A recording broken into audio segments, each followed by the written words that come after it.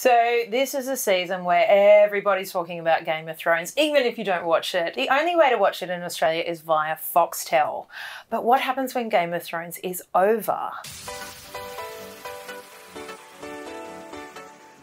Joining me on the couch today is our resident TV guy. Chris Stead, who's going to break it down and explain what's happening in this world going forward. Chris, why is 2019 going to be such a big year in streaming services? Well, there's just so much going on in 2019 where previously we had a couple of players in the market. Your Foxtel, mm. your Stans, your Netflix obviously was the big one that came out. This year we've got Kayo Sports, which has kind of dynamically changed, disrupted the way that sports are watched here in Australia. Kind of a world first, actually. And we've got these huge players like Disney, Warner, Apple, Amazon, YouTube, and Netflix really doubling down on exclusive content. So we're in a position where you could accidentally find yourself creeping into having about seven or eight subscriptions in your house at one time. Now, it sounds confusing and expensive. So how do all these new players in the market, how are they going to affect Foxtel? Well, I mean, Foxtel's obviously come out of a very traditional space. It's been in the mm. country now for a couple of decades. Everyone's reasonably familiar with the idea of having cable installed to your house and a set-top box under there. They started moving into the streaming space with Foxtel now, before that Presto as well. Uh, and so that kind of traditional, old school uh, approach to it, where we were paying up to $100 a month to get yeah. this content, has been very much undermined uh, by the likes of Netflix coming along for $10, $11, $12.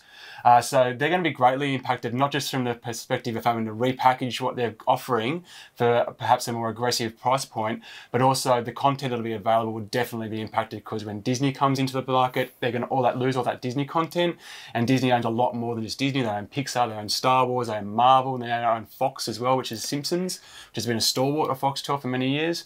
Warner owns HBO, which is a big thing for Game of Thrones. So is that going to change things? So uh, Foxtel is definitely going to be affected by what they can actually show, but they're also going to start being affected uh, by how much they can price their uh, actual existing packages for.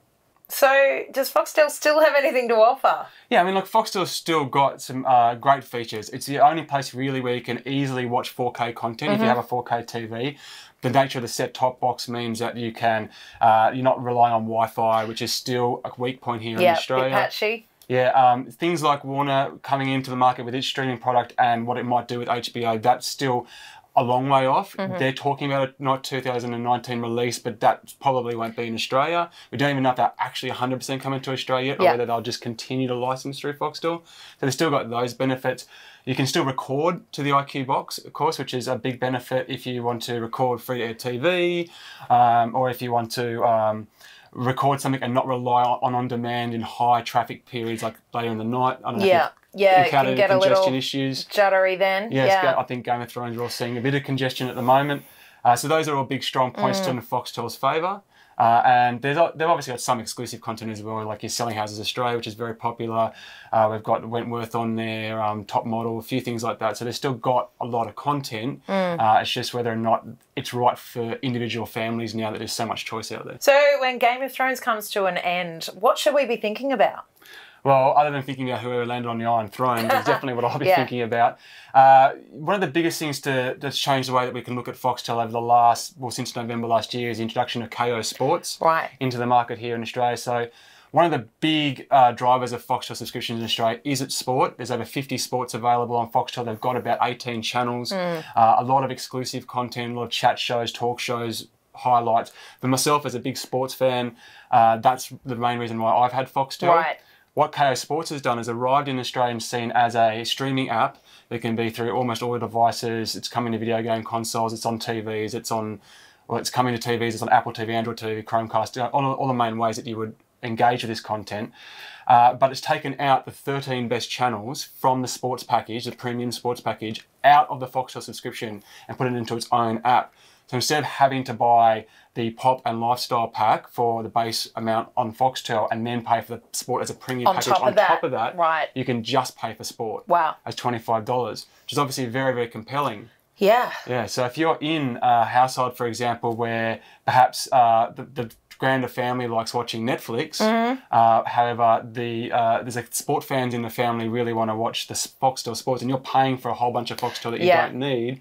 There's now an op- opportunity to kind of reevaluate and go, well, maybe we don't need Foxtel after Game of Thrones or maybe we can change the package that we're on and take sport off it and go to strip it right back to something smaller. So there's, there's a, it's definitely a new way to look at it. So, Chris, I've also heard um, that Disney's bringing out its own streaming app. Um, I kind of am hoping not because I live in a house with two girls. We watch a lot of Disney. Um, can you tell me about that?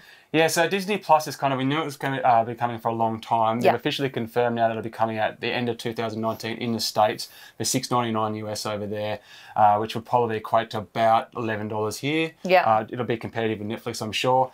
However, uh, we haven't got an Australian release date yet, so uh, whether I don't think it'll come out in uh, 2019 here, but potentially mid 2020. Yeah. Disney Plus will basically be stripping most of the Disney content that we've seen in all the other providers. So Disney, as we know, has a lot of different content coming out of it. Um, the top ones being Pixar, Yeah. Marvel, Star Wars, Disney's own content, uh, and they've just bought Fox. And Fox within Fox, we've got New Line Cinema, I think's in Fox. We've got uh, The Simpsons, Futurama, all those guys, plus like the Predator franchise and Aliens and Avatar and all those are also Fox. So that's a heck of a lot of content that's going to be no longer available through um, Foxtel or Netflix or the things that we're currently watching them on. Uh, we know that Stan, for example, has only licensed its Disney content up to the release date of Disney Plus in the States. Uh huh. So there's a few of these kind There's of licenses that Yeah. are trying to, trying to lapse. Uh, when they will exactly lapse, we'll know closer to the date. So Disney Plus is something that you need to think about. There'll be exclusive content on there we're going to want to see. I think most houses in Australia are going to want it, and that plus Netflix.